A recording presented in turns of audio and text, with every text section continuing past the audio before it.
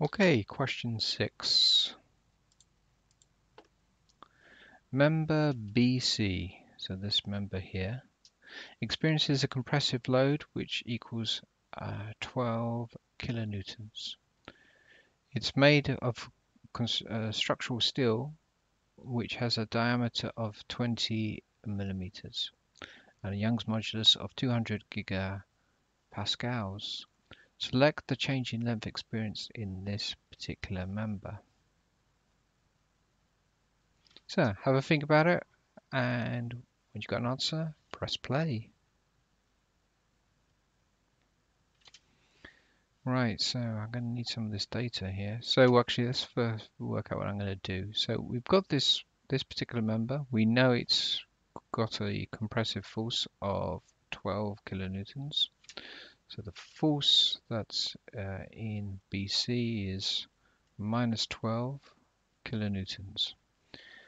Um, and we want to work out uh, its change in length. So therefore, all we're going to do is say that uh, strain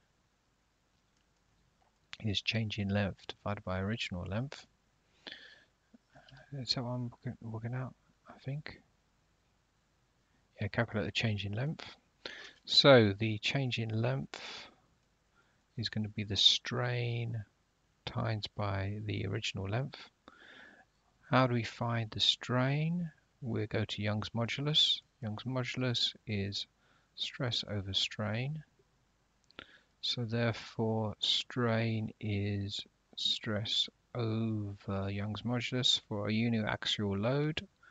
So therefore I can say that the change in length is going to be the stress times by the original length divided by the Young's modulus. Well, we could put in more algebra in there if we wanted to, because I know that stress is force over area. So therefore I can say that the change in length is going to be the force divided by the length of the bar um, sorry, the force times by the length of the bar divided by the area.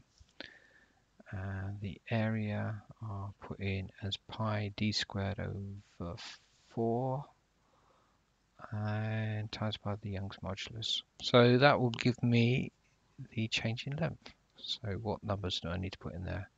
So change in length equals force is 12. We'll ignore the sign.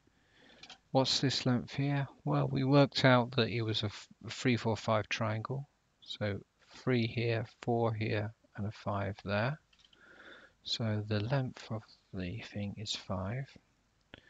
Uh, I think it said 30 millimeters. no, 20 millimeters. So I've got pi times 20 times 10 to the minus 3. And then I need to square all that and then divide that all by 4. And what's the Young's modulus? And that's 200 giga times by 200 gigapascals. Okay, so I'm working in SI units.